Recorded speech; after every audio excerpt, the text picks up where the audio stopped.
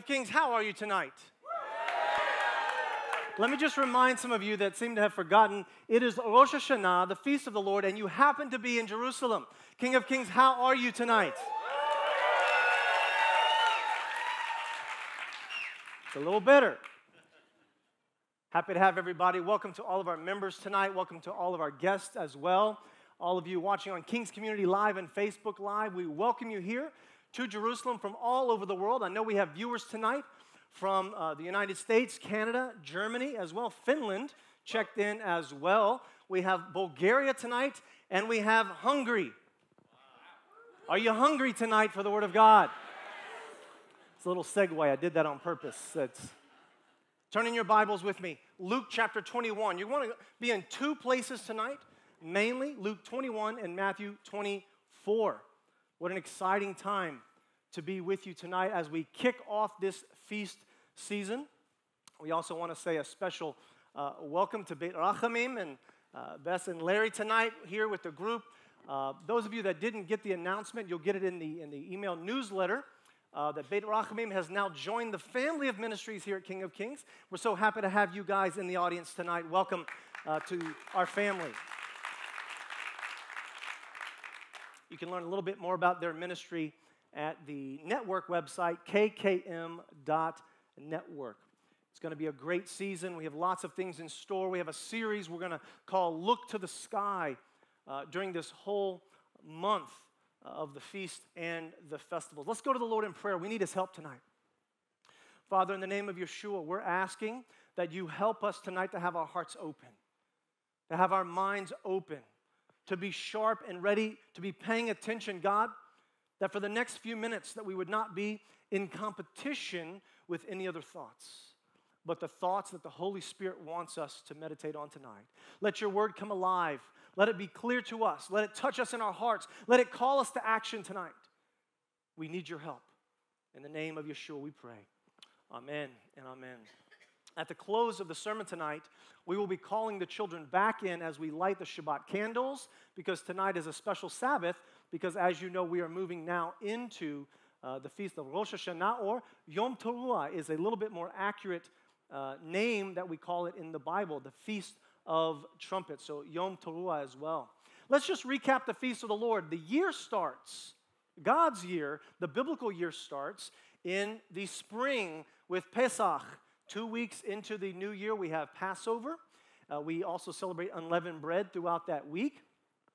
Three days later, we have first fruits, right? Yeshua died on Passover season. He was in the grave for three days, taking away our sin, which is linked to the leaven uh, on unleavened bread. He's taking away our sin, and he rises again on the feast of first fruits.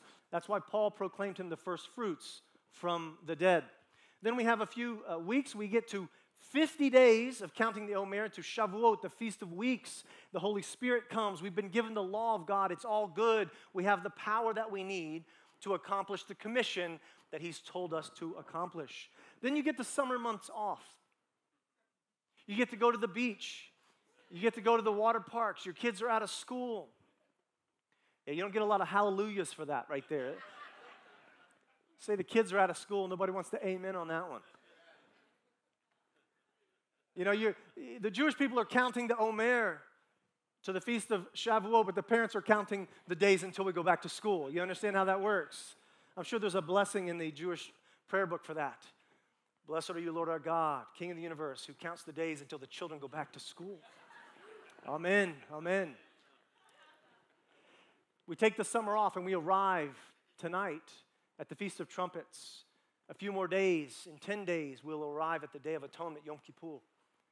And then five days after that, we will launch into Sukkot, the Feast of Tabernacles. We'll celebrate that for seven days plus one.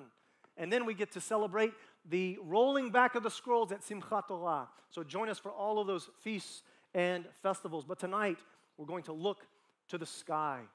Why do we look to the sky? Because it's, it's where we look for the hope of Yeshua's return and his gift of salvation.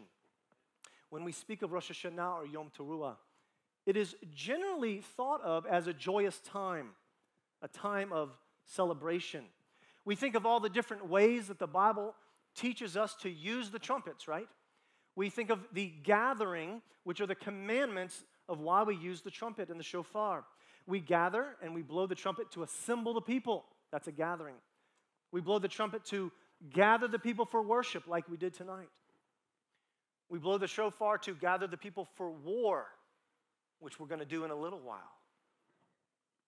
Bet you didn't know you came to go to war tonight, did you? If you came to see a show tonight, I'm sorry, that's not what you're going to get. We're going to get prepared for battle tonight. Amen.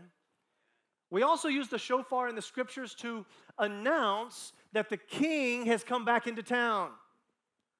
And I think that's the deepest prophetic significance that we find in Yom Teruah is that we're announcing the return of the king.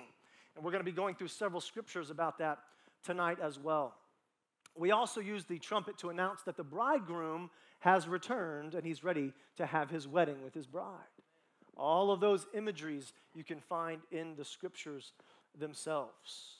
These are positive thoughts, they're happy thoughts, victorious thoughts, even.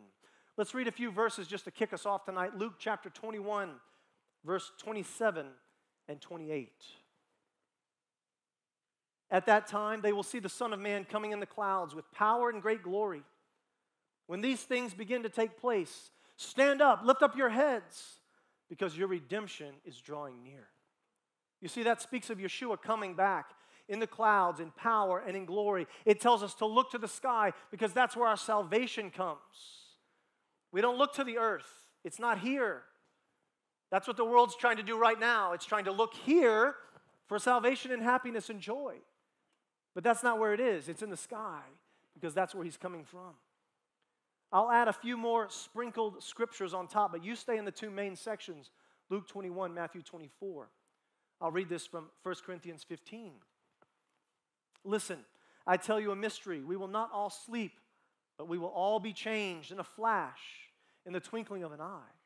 At the last trumpet, for the trumpet will sound, and the dead will be raised imperishable, and we will be changed. Notice the, the emphasis on the last trumpet is when the end of the age is introduced. That's the deepest prophetic significance of the Feast of Trumpets, that it, it's the end of the age. We will hear this trumpet, it will blow. Another one, Revelation 1 7. Look, he, Yeshua, is coming in the clouds, and every eye will see him, even those who pierced him. All peoples on the earth will mourn because of him. So shall it be. Amen. Did you catch what it said? Every eye will see him. Even those that pierced him, every eye will see him. And they will mourn. Wait, Pastor Chad, you, you started with such a positive track tonight. You gave us so many good things and good thoughts, and they were fun, and we really liked this holiday a moment ago. But now you just read, and you said that when the trumpet blows, the earth will mourn. I thought this was a happy holiday. Why are we mourning? Why are we sad? Why are we in tears about this great holiday? Well, that's what we're going to ask tonight, and that's the question we're going to answer. That is our journey together. It says here that every eye will see him. Friends, no one can escape the reality of Yeshua's return. No one can escape the reality of Yeshua's return. But I don't believe in him. Too bad. Every eye will see him. I don't want to see him. Too bad. It doesn't say only if you want to keep your eyes open, it says every eye will see him, even the ones that pierced him, even the ones that rejected him, even the ones that disagree with everything Yeshua stands for. Too bad. Your eyes will be open, and every eye will see him on his return. That's why there will be mourning, because you can't avoid it. It's a return that demands a response. Matthew 24, 27 says it this way For as lightning that comes from the east is visible, even in the west, so will it be on the coming of the Son of Man. You see, Yeshua's return will be seen by everyone on this planet. Just like you can see from the east to the west, when lightning strikes or, or a light shines or a star falls, you're going to see it no matter where you are. Even if you don't want to see it, too bad. You have to see it because Yeshua's return will demand a response. Some of us will see it and rejoice because we know what's coming next. He comes on the clouds with great power and glory, and we've been waiting for this moment. We've been looking for Rosh Hashanah all year long. King Yeshua, come back. Bridegroom Yeshua, we're ready to marry you today. We're excited. And at the same time that we're celebrating his return, it demands a response from everyone else also. You don't get to stay neutral and emotionless and stone faced when Yeshua returns. That's not an option we get. You will either rejoice for what's about to come or you will mourn what's about to come. Because when he returns, the revelation will hit everybody of what's just happened. Seeing Yeshua's return at the last trumpet of Yom Teruah will demand a response. Let's get back to this idea of people mourning and being sad. We're reminded, first of all, that when Yeshua was with us, there was the last Passover Seder before his, uh, his crucifixion, before he was murdered, uh, and he suffered for us. We remember this passage in Luke 22. It says, In the same way, after the supper, he took the cup, saying, This cup is the new covenant in my blood, which is poured out for you. So here's a quote Even as the last Passover initiated the beginning of the new covenant age, so the final trumpet sound will culminate the end of this age. You see, both bookends of the new covenant age have significant symbolism to them. They have events that are significant. One was the, the Seder meal with the Lord Himself. And when He said, Take this cup, this is my blood. This is the new covenant in my blood. Tonight it begins. Everything you've read about, everything the prophets told you is true. It's in me, and it starts tonight. Now drink this cup. Be part of what I'm doing. And the clock started ticking. When the clock ends, it will be at the last trumpet because that's the culmination of the end of the age. It began with the Passover and it ends with Yom Teruah. I hope everyone in this room and everyone watching online understands how significant the feast days of the Lord are because they set the timetable, they set all the symbolism we need for the revelation of what God is doing and how we're supposed to participate in what He's doing. Yeshua says this in Matthew 24, verse 3. It says, As Yeshua was sitting on the Mount of Olives, the disciples came to him privately. Tell us, they said, when will this happen? And what will be the sign of your coming at the end of the age? Ooh, that's a loaded question. That is a tough question. There's a, you understand when you unlock that, that waterfall, how much water is about to come out of that? Hey, Yeshua, tell us of the things that are going to happen before the end of the age. I can just, you know, I'm going to get over here out from behind the pulpit for a minute because I'm going to give you my interpretation of what Yeshua might have done when he was asked that question. Hey, Yeshua, tell us, what are the signs before the end of the age? Y'all really want to know that? Are you sure you want to open that can? Yeah, we do. We want to know. Tell us, what are the signs? We want to be ready. Okay, that's Matthew 24, verse 3. The next 28 verses are about what's coming. And here's a summary there will be false messiahs, there will be wars, famines, earthquakes, persecution of believers. Many will turn away from the faith. There'll be false prophets. There will be an increase in wickedness. There will be the abomination of desolation. There'll be great uh, distress. The darkened sun and moon will appear. Stars will fall out of the sky, and terror will be everywhere on the earth. Aren't you glad you asked? This is what will happen before the end of the age. It's interesting here because sometimes you can see the future, tell the future, and not be the cause of the future. You understand what I mean? Uh, several weeks ago, if you go back in the archives, we did a sermon on the difference between the macro will of God and the micro will of man. The macro will of God, you can't change. How it's going to unfold, the need for salvation, what sin looks like, you can't change any of that. What you can change is how you act, how you react, your choices in life, etc., how you love and serve people. You can change the micro level will that you have, but you can never change the macro level will of God. But here, Yeshua is asked a question and he looks into the future and he says, This is the macro. I'm giving you the macro picture. This is what will happen on the planet. All of these bad things will happen. They'll be concerning to you, it'll be troublesome. And at the same time, as he's telling us what will happen, he's letting us know I'm not the cause. I'm not causing them. You can have knowledge of the future without causation. Let that help you in your theological study. You can have knowledge of the future without causation. You can tell us what's coming without causing what's coming. And in this case, this is what Yeshua is doing. He's saying, guys, this is what I see. Now, some people have trouble because that can be a deep theological component. And I don't mean to get too deep with you tonight, but if I give you an example, maybe it'll make it a little bit easier. I have a bunch of kids. They're, they're, we're having more and more, so their house is getting more and more full. And one of my kids really loves animals. And so we're getting more animals too all around the house. I'm a little embarrassed to tell you how many animals we have at this point, so I'm not even going to tell you.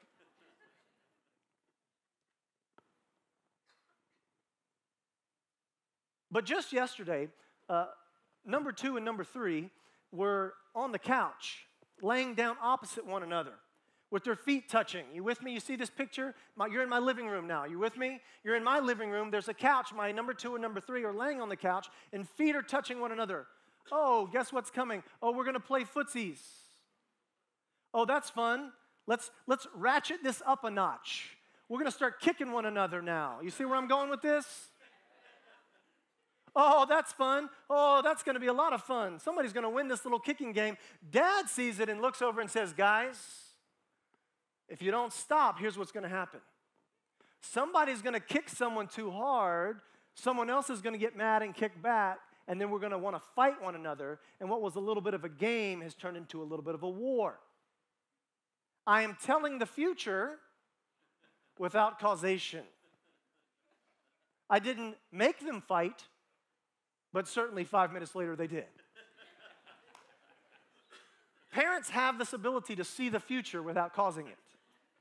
And so does God. And so when they asked this of Yeshua, he said, All right, you may not want to hear this, but here's the answer. All of these things are going to happen. And listen to what it says after the summary that I just gave you. Same chapter, Matthew 24, verse 30 and 31.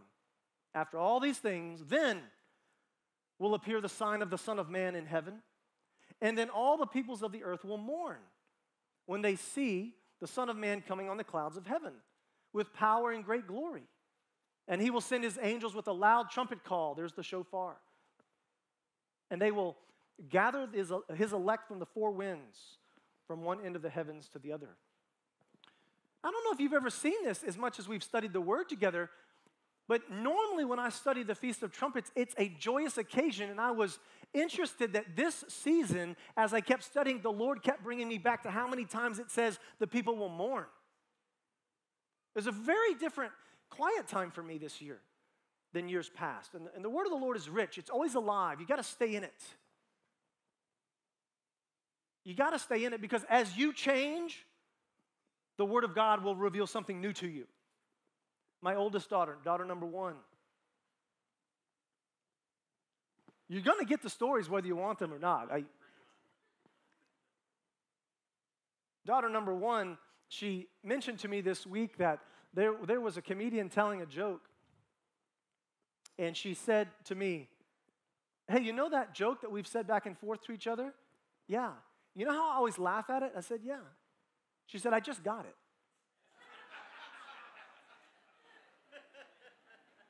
and she said, I mean, it was, it was funny before I got it because I got it a little bit. But now that I'm a little bit older, I got the context of the joke. It was funny when I was a little kid, but now that I'm older, I really get what he meant. And I said, well, that's, keep that principle because that's how the Word of God is. That's how the Spirit of God works. As we mature, we get a little bit older, we gain new experience and context. You go back to reading the same passage, and all of a sudden it's got brand new meaning to you. And this year, friends, that's what's happening to me. I'm reading the word, I'm like, wow, I can't believe how many times it says on the last trumpet call, people will mourn. I just, in my head, for some reason, I pictured this big party, but it's a lot of mourning going on. Revelation 1 7 mentioned it, Matthew 24 mentions it. Zechariah 12 10 reads this way And I will pour out on the house of David and on the inhabitants of Jerusalem a spirit of grace and supplication.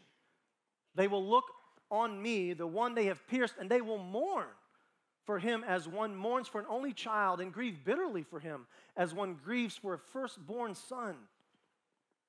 Now, listen, don't mistake this verse that at his return there's crying because we're so happy. It's not that kind of crying. We're not crying because we're so happy. This is mourning. The example they used here was about a child dying and the loss of the firstborn. If you've studied any type of psychology and the grief process, you will understand that most professionals will say the deepest grief you can have is losing a child. So that's the example. Not a little bit of mourning, not happy tears. The example that was thought by the Holy Spirit to be put in the Bible at the return of the Messiah, while some people are happy and some people are mourning, the mourning style, the pain, the example that was chosen was the loss of your only child. The deepest pain you can experience. That's what's going to happen to people who don't know the Messiah. The deepest internal pain possible is what's going to happen to people who don't know the Messiah. They will be able to identify that they rejected him. They will all, with us along with them, they will identify that our sin added to his suffering. They will mourn as one mourns for an only child or a firstborn son. The loss of a child. Because why? because Yeshua's return demands a response. There will be a realization that our sin collectively caused pain and death to enter the world. There will be a reality when they're faced with his return that they were wrong.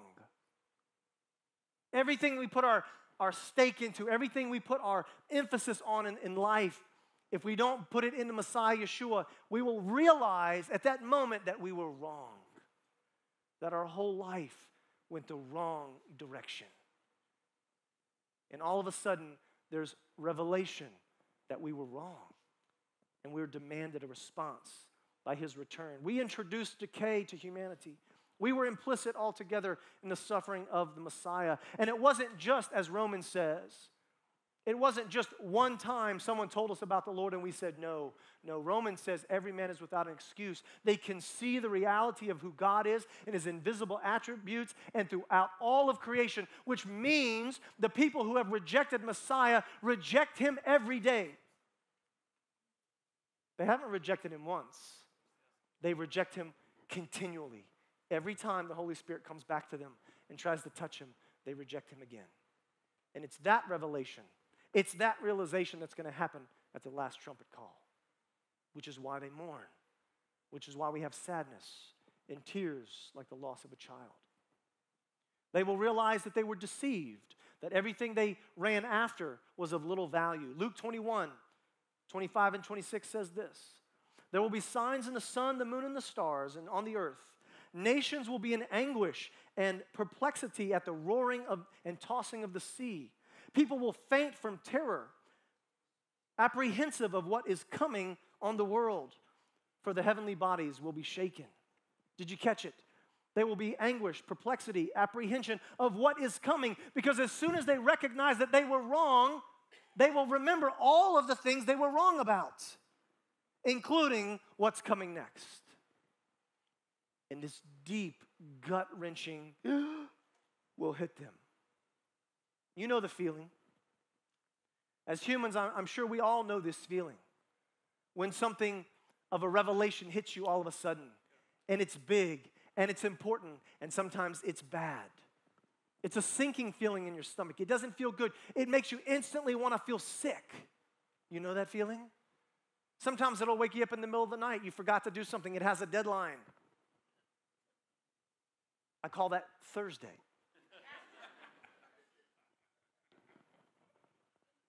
You know, one time I'm going to tell on myself for a second. Can I tell on myself for a little bit? So, in, in, in, in pastoral work, sometimes you, you, you can get really focused on what you're doing, what you think the Lord has called you to do. And this one particular Shabbat morning, I was leading the service and I was preaching, and we had guests. And my, my wife typically comes a little bit after I come to service because I get there a lot earlier and I leave a lot later, and she has the children, and so she's going to come later than I will. And then she'll leave a little bit earlier than I will, and so she brings the children. This one particular Shabbat, she came as normal, and she had the two babies with her, but we still had our oldest one. And she said to me, I'm going to bring the babies home.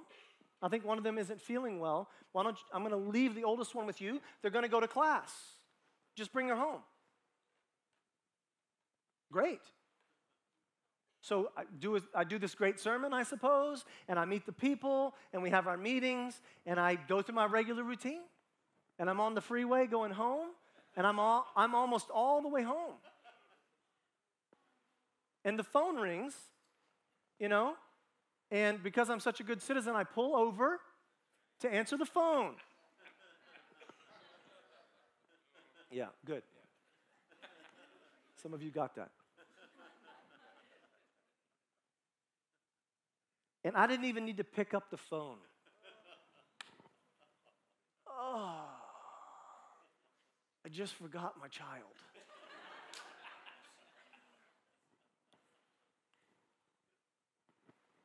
the sickness just ran over me. Oh, this is probably going to scar my child for a while. How much inner healing are they going to need after this? That dad, dad loves everyone else in the congregation, but he forgets his own child. And right after that person called, because they're the ones at the congregation uh, waiting with my child till I could return, faithful friend. I didn't pick up because I knew what was had, just spun it around. You know who the next call was from.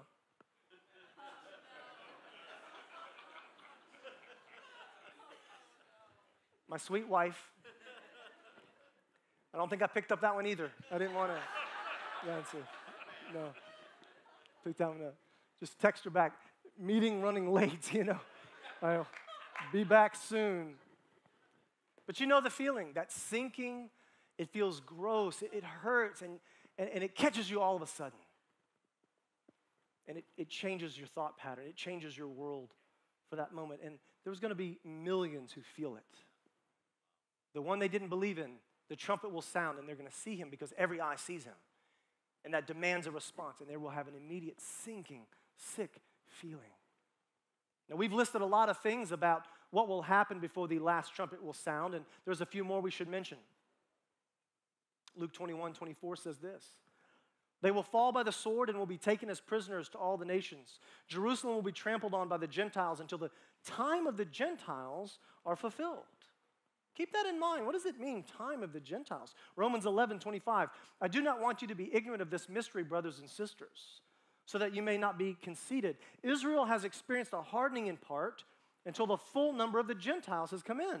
And in this way, all Israel will be saved. So now we have a, a time of the Gentiles. We have this thing called the full number of the Gentile or the fullness of the Gentiles. Matthew 24, 9 says, Then you will be handed over to be persecuted and put to death and you will be hated by all the nations because of me. That's another piece of good news. What will happen before the end of the age? It continues, verse 14. And this gospel of Yeshua and his kingdom will be preached in the whole world as a testimony to all nations, and then the end will come. It's not hard to know when the end will come. It's right there. We get all the signs, all the road signs are there.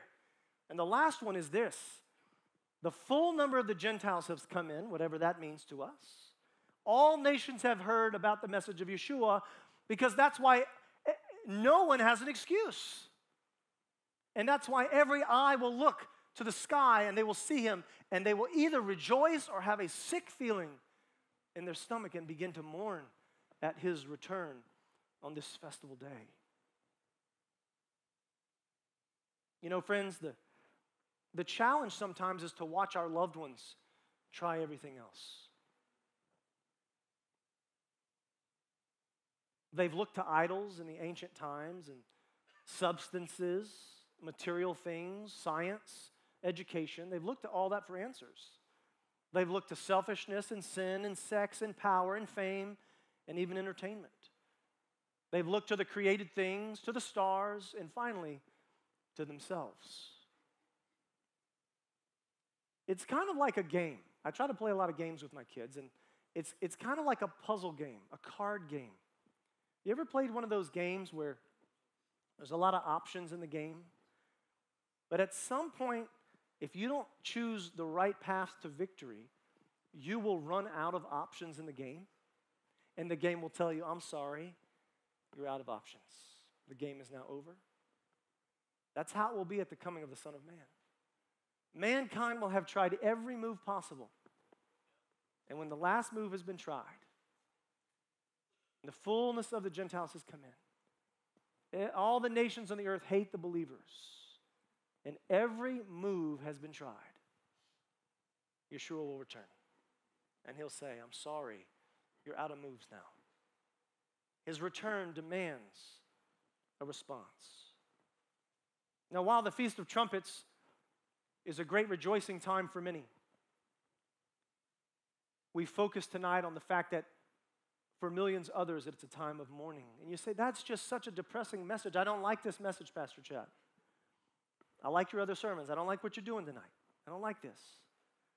Well, listen, what I'm doing is a very Jewish thing. It's to remember the challenges and the tragedy, even in the, the times of celebration. Not to be a downer, but to remember the task that is at hand. You see, we can't get so caught up in our future celebration and all the parties that we want to plan to forget about how many millions won't get to join us. It's like at a Jewish wedding. How many of you have ever been to a Jewish wedding under the chuppah? It's a great time to go to a Jewish wedding. There's a lot of richness to it. But even in the celebration, and the, and the bride is walking around, the groom, and there's the seven blessings are being read or they're being sung, and they're signing the, the ketubah or, or the songs, and, and the candles are being lit. Whatever you're doing, it's a lot of fun. And at some point, they bring out the glass and the groom stomps on the glass and he shatters it. And a lot of tradition will tell you that that is to never forget the destruction of the temple, to never forget the destruction of our people throughout all the, the persecution of the ages, that even in celebration, that before we celebrate, it's the last thing we do before we announce this couple is now married. In a Jewish wedding, you break the glass because you want to remember that there's still a challenge for the Jewish people as well. And tonight, that's what we're doing.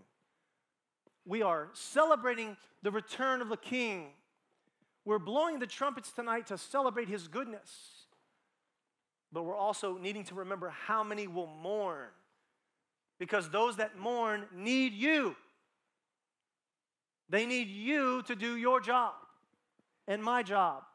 They need us to share the message of salvation with people who have tried everything else so that they will be ready to celebrate with us during this time.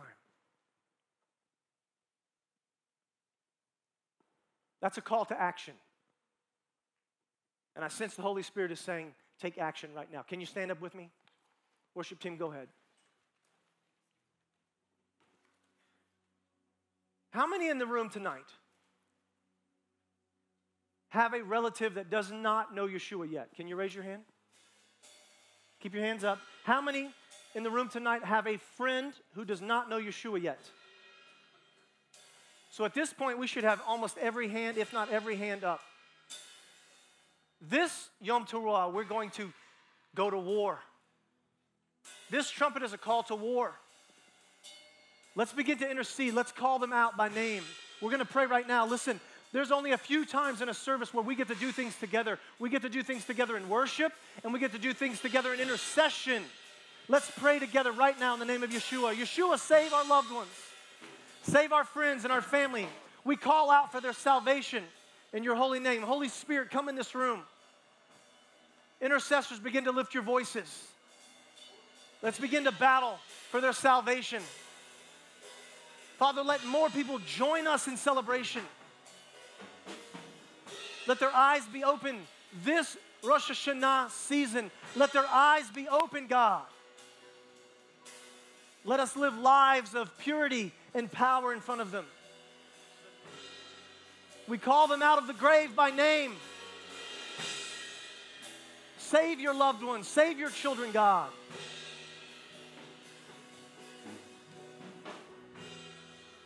Thank you, Lord. Thank you, Lord. Thank you, Lord.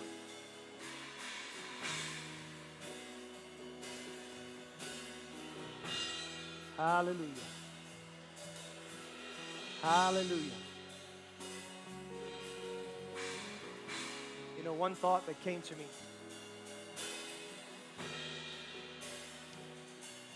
Was the thought of, of what Yeshua's face would look like at the same time. Because when the last trumpet sounds, and there's a realization of how many people are not coming with him, I can guarantee you that even though one side is celebrating, Yeshua's face, he will mourn. Do you understand? Because to him it will be the loss of a child. To the Father in heaven, it will feel like the loss of a child because of how many are not coming with him. So I'm not just asking us to focus on the people who will mourn, I'm asking us to focus our intercession on the fact that our God will be mourning. How many people are lost? Thank you, Lord. Let's just continue for one more minute in intercession. Call out their names. Father, break through. Holy Spirit, come and break through. Whatever blocks them, God, remove it from their path. Whatever hurt is in their life, heal it, God. Yeshua, show yourself to be real. Show yourself to be real, God. Show yourself to be real, God. Hallelujah. Hallelujah. Glory to God. Hallelujah.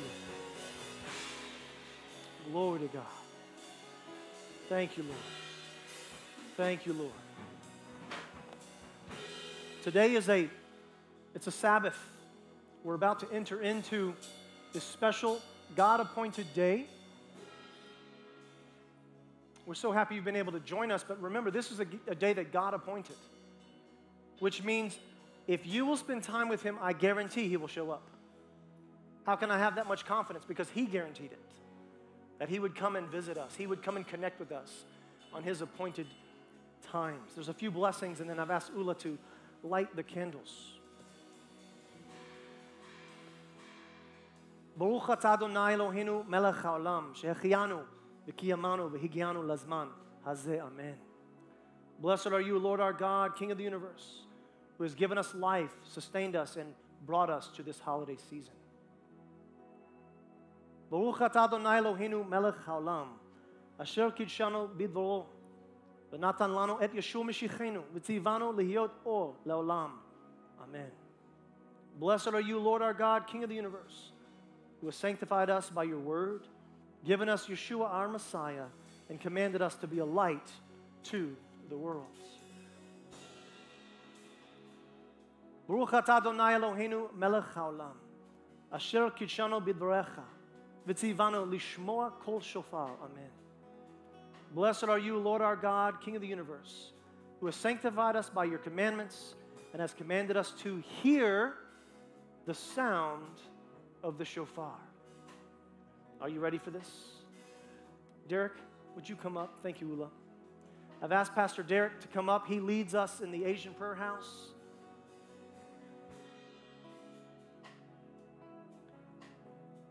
We're going to do three traditional calls.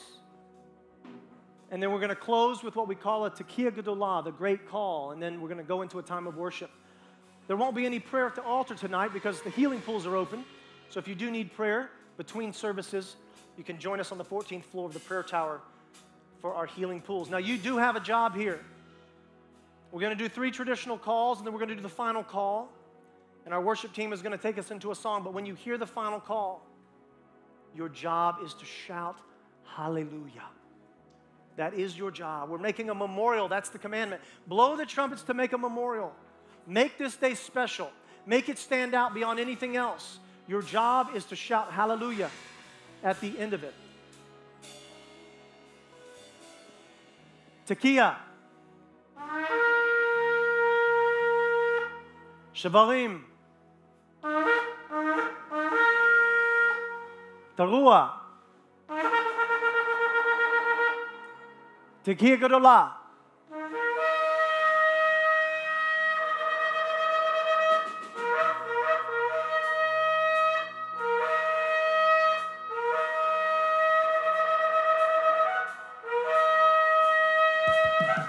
Hallelujah!